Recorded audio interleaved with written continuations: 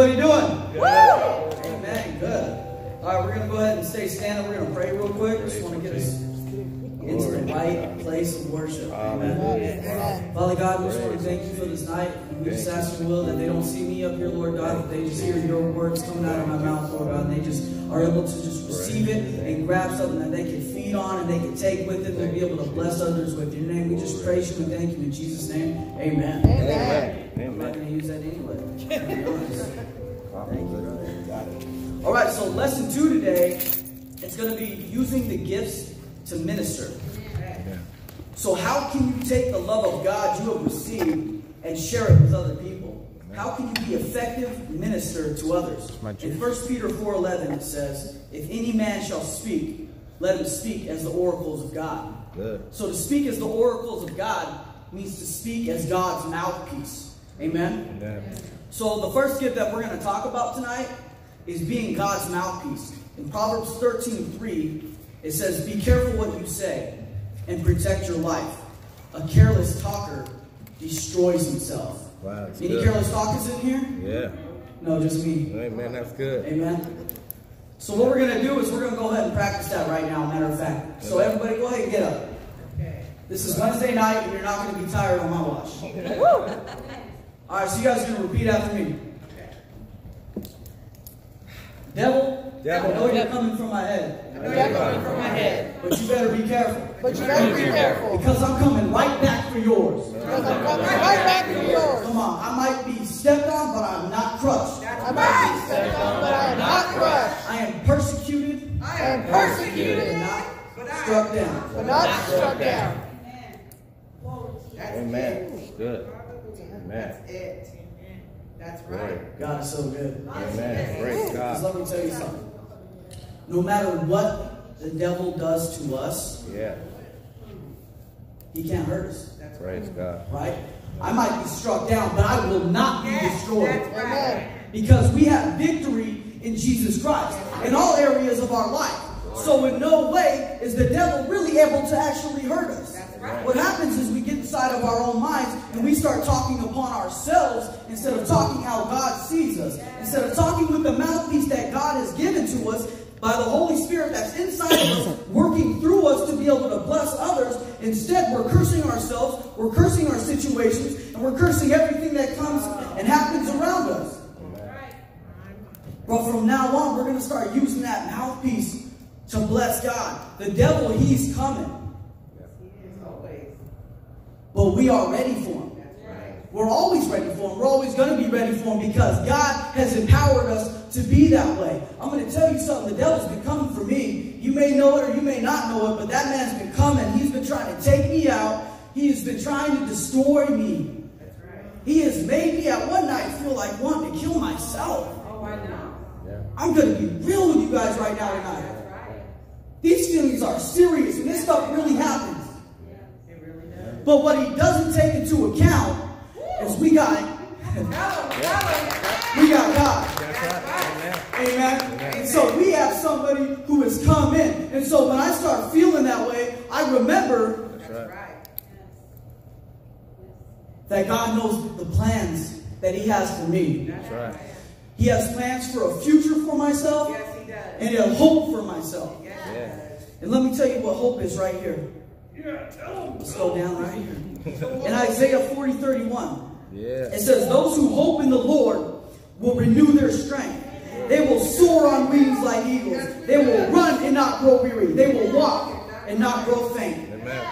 Tell your neighbor, you will not grow faint. You will not go faint. In Jesus' name. You will not go You have a gift to minister. Amen. Amen. We're going to run through those gifts real quick. Let's go down to um, 1 Corinthians chapter 12, verses 6 through 10. Good. Or you could just go to page 214 on your handouts. right. I'm going to be going a little off script tonight. I hope that's all right. Sounds good. No, that's not good. First Corinthians. 1 Corinthians. So, the spiritual gifts that God gives to us is one, the words of wisdom. That is a supernatural revelation from God of His mind and purpose. That's good. The word of knowledge. That's a supernatural revelation from God of any fact or event. The gift of faith.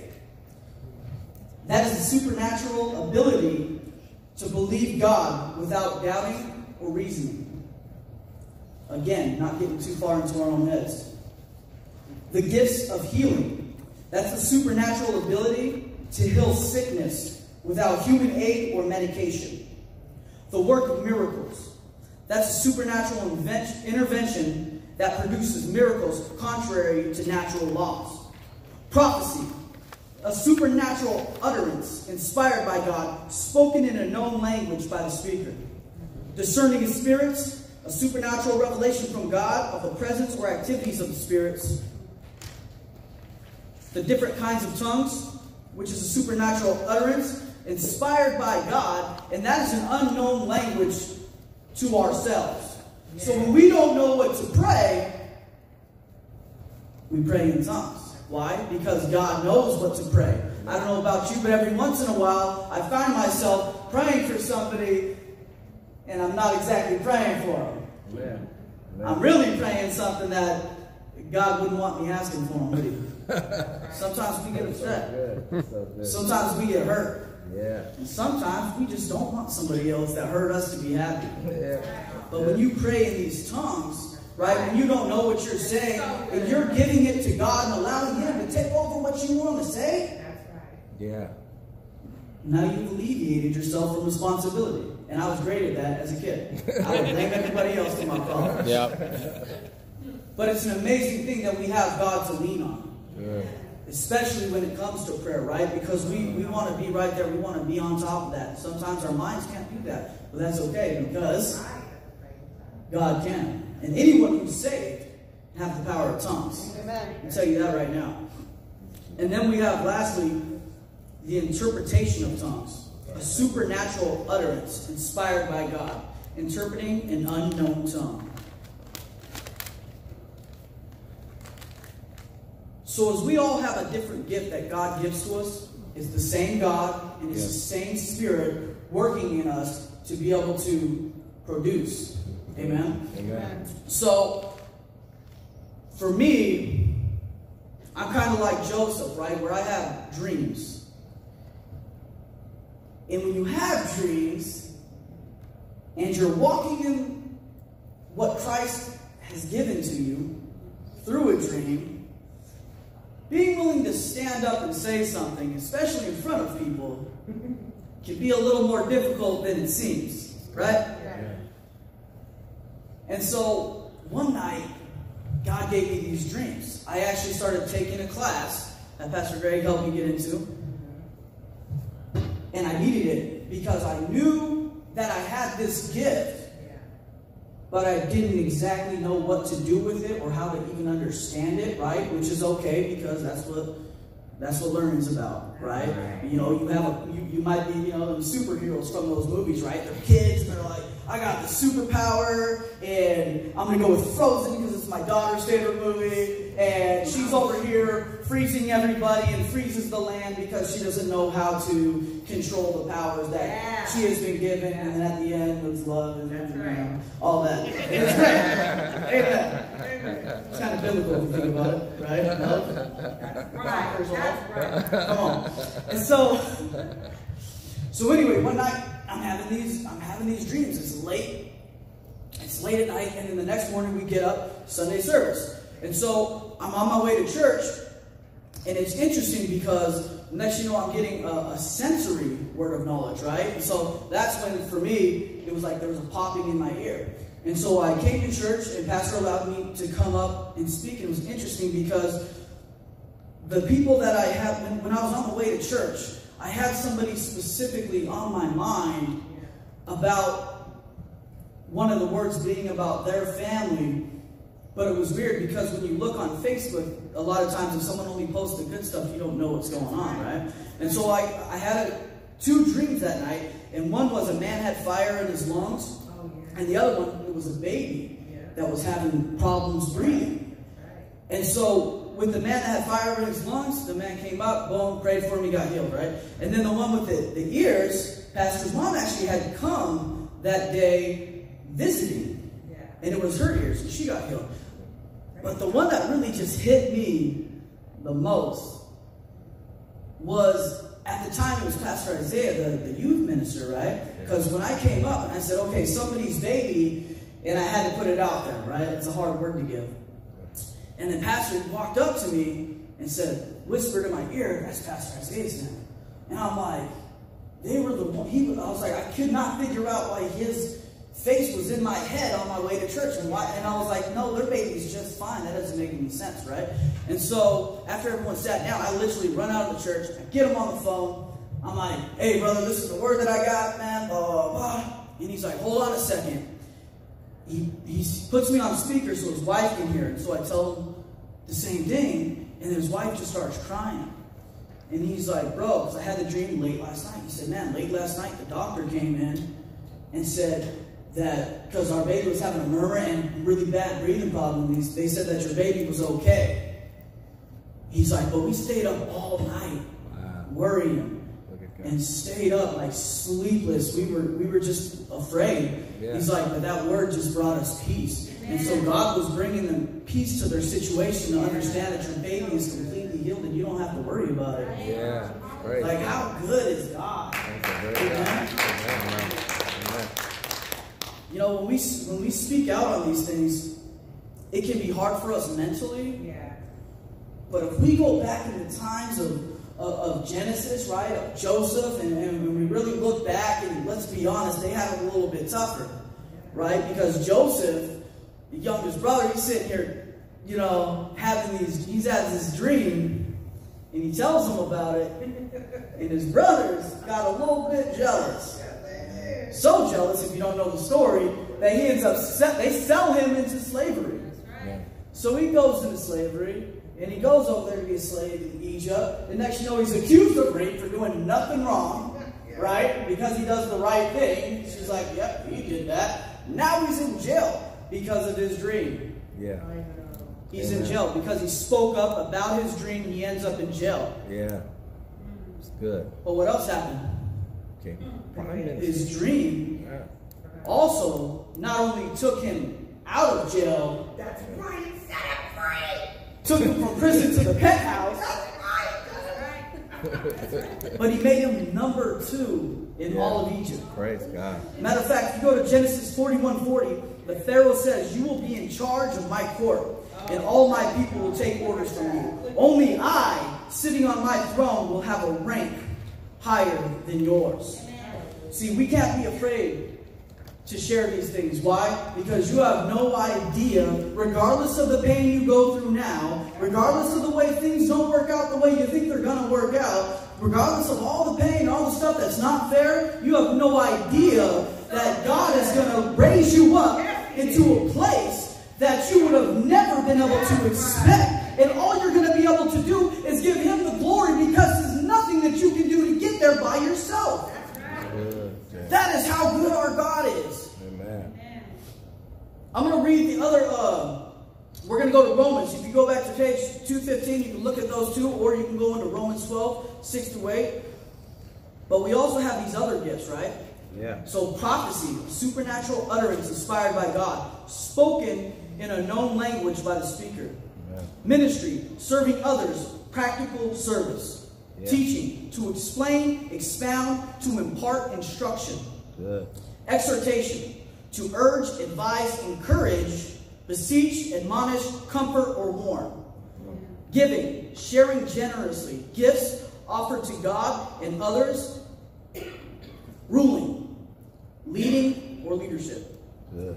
Mercy, compassion, shown to an offender or victim. It's good. So we look at these gifts that we have, right?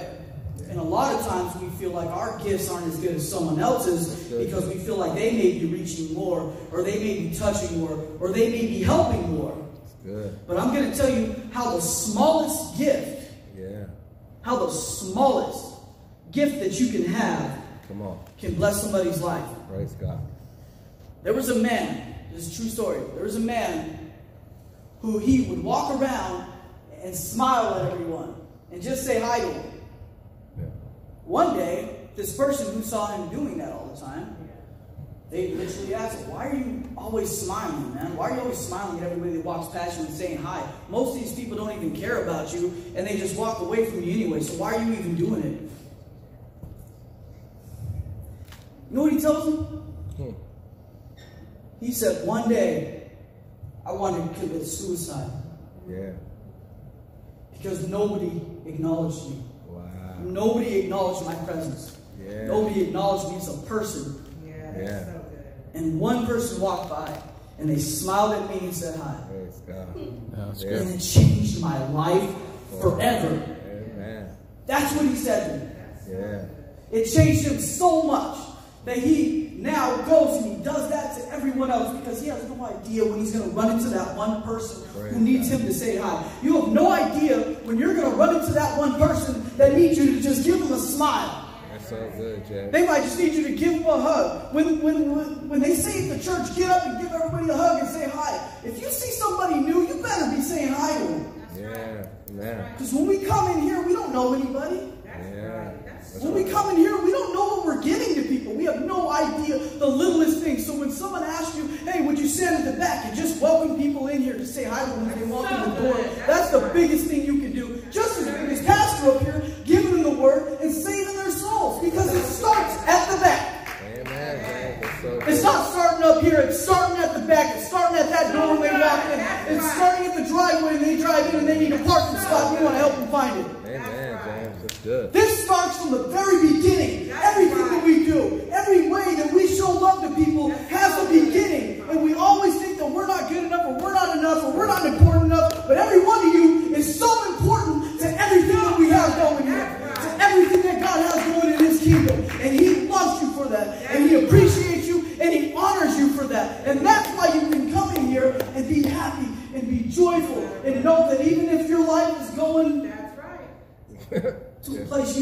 You never saw it going, Amen, you better believe. Yeah. You know you have the hope. And that's why we're here, because we know that God's doing big things in our life. That's good. That's I've good. seen it time and time again. I've put myself through life and I've had life happen to me. Yeah. And all the same, I'm standing right here. Amen. Amen. Because for one, the devil ain't about to beat me. You know why? It's not because I'm strong, because I'm not. I'm weak. God is strong in me. I'll tell you what. I'm, I am not strong, man. Amen. But I will tell you who is strong, God. And I'm going to tell you just how strong He is. He's able to push you through. He's able to walk through it. And when we get mad and say, God, I don't understand. We're doing, I'm doing all these things right. What are you talking about? Why is this happening to me? Because it's not by your works that you get into heaven. It's by Him. We need to stop forgetting that. We talk about this Job season and going through what Job went through. It. He lost his wife, he lost his kids, they all died, he lost everything he had, he got sick. But at the end of the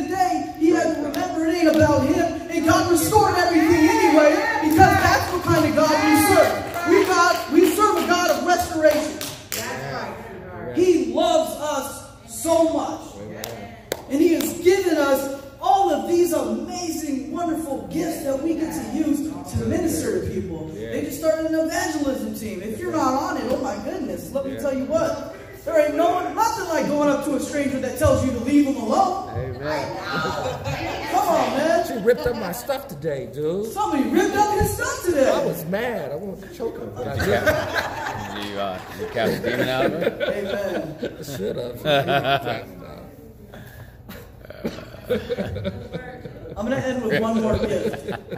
And the reason that I'm going to end early is because at the end of this, we're going to do some words of knowledge. Why? Because we need to put practical application to what we're talking about. Yes. Right? We can't just come up here and say you have these gifts and we're not going to show you what they look like. Amen. And I know you've seen them on Sundays, but you get to see them again tonight. Guess what? If you're hurting, we got a God that's going to make you jump.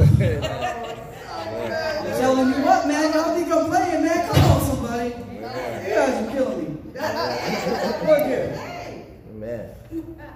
So this last gift that I'm going to share with you is not on your paper, so quit looking for it. I see you all looking for it. I'm gonna write it on. I'm write it down. This last gift, you guys are going to have to write this down. 2 Timothy chapter 2, verse 2. Who knows it off the top of their head? He does, huh? You he does. Come on. Second Timothy, you said? Pastor? Second Timothy chapter 2, verse 2. Yeah. This for me has been the most important gift. Good. The most important. Oh my God. Amen. Because it helps you to become the person that you are Amen. if you'll use the gift. Amen. I know you guys are excited right now. Huh? I have no idea. Anticipation's killing me. You ready for it? the things which you have heard from me Gee. in the presence of my witnesses, entrust these to faithful men who will be able to teach others also. Good. So this last gift that I'm talking about, sitting here in the front row, mentors, our brothers and sisters who are sitting out here. Yeah. Our greatest gift that we have is each other, Praise God. right? God always talks about us being in one accord, together. He talks about two or three coming together. He talks about how we're the body of Christ Amen. and we work together. And the reason this is so important is because if you don't know it, you go through this again, right? Read through this because there's so much great, so many great things in here that I didn't hit on because God just took me in a whole other direction. But let me tell you what, you need to read through this and get the study done, answer these questions, and I'm going to tell you why. Because you're going to figure out which one of these is your gift. It's good. And you're going to need to learn how to use it. Amen. It's not just going to come. You're not just going to say, oh, well, I have this gift, so this must be what I do. I've tried that and I've been wrong. No matter how right I thought I was, I was really, really wrong. And so we got to use Pastor and Pastor Greg. We got to use them, and I know they're more than willing to help any one of you Amen. to, to learn your gift and to grow in your gift and to move in your gift. Amen. And I know this because with them, it's not just teaching, right? With a good leader, it's not just teaching. It's it's implementing what you know, Amen. right? It's implementing the big things, and I'm going to talk about how it implements the small things. Yeah. One more story. There's a guy. He went to church one day. He was with his girlfriend at the time, and he could not walk in the church. Mm. Something was happening with that day, and he couldn't bring himself couldn't bring himself to go in. And the pastor was in between services, noticed his girlfriend walked in, noticed he didn't come in, runs outside, finds him, he's out there, he just hugs him, right? He just hugs him and just lets him cry on his shoulder. Then he fixes his shirt, right? He says, All right, when you're done, come back inside. Or come inside. Amen? Yeah. That little piece of love helped that person who couldn't go in, who wasn't sure about going in Yeah. anymore because of what happened, be able to go in and stand in front of you right now. Because this was at Beacon Hill, and it was him. See how good that is? That's the kind of pastor we have. Amen. He doesn't just get up and preach. He doesn't just go to your parties and funerals and weddings and all of that. He loves you. There's a real love there. He will come out and give you a hug. And not speak into your life at all, but just give you that little piece that you need. That's what kind of leaders that you guys have here, and I need you to recognize it. Because that is what's going to help you to understand why you can keep coming and why you can keep showing up and how you can grow into being some felon from White Center into standing up here facing one of the most difficult things in your life That's right. and still tell you how great and amazing God that's is right. and knowing that He is about to be in a place that He's never seen. That's right. Amen. And that's what kind of love we have for each other. That's right. Brother Kevin over there, we just went out, had some had some food, sat back, just talked about life. I saw this ex of his over there hanging out, looking at him. I didn't notice that. So. Oh yeah. Dr. Mark over there always fixing me when I'm coming to him crying and hurting. Pastor Greg over here healing everybody. Yeah. Feeding you. me. Feeding you. He's feeding you, man. Amen. But that's what we have here. So I wanted to end with that. I wanted you guys to understand where you're at, what you have, and why it's so important to make sure that you are locked in. And make sure that you stay coming to the place where you need to be, where your home is, right? Because at the end of the day, we are here, man. We are here. Brother Paul over there gave me a nice little alligator bell I still wear. Yeah. Chad over there. Yeah, you know he. Yeah, he saw me hanging from a tree on a rope and left me there and told everybody not to help me. I remember that. He still helped me though. I beat Vinci Nuno today. I eat all of Lisa's food. My sister, I bug her all the time. Yes. Tell you what, proud of her, man. Yes. This is an amazing family that we have here, guys. Man, Right. It is. man. And every one of us has gifts. That's right. And I hope you recognize what that gift is. And if you don't, get ready to learn about it Amen. because you're about to be using it. And don't just use this big gift that you have, use the small ones you have too. Man. Amen. So good, Jen. I'm going to close this out in prayer real quick, and then we're going to start doing a little bit of words of knowledge.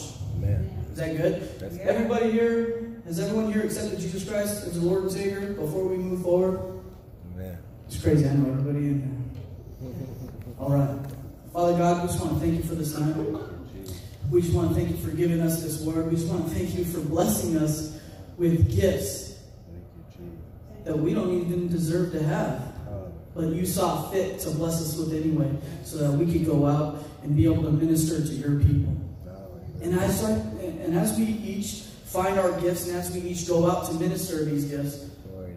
I just pray that you just give exponential knowledge and wisdom and growth into each and every one of my brothers and sisters in this house, including myself. In your name, we just give you all the honor and glory and praise in Jesus' name. Amen. Amen. So I'm going to have Pastor Greg come up here. He says he's going to help me out with this. Right.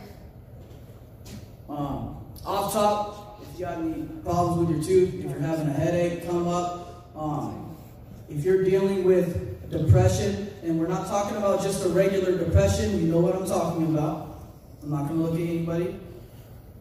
But someone's going through some stuff, and it's more tough than just tough. Man. So if anybody needs some prayer for anything, especially those three,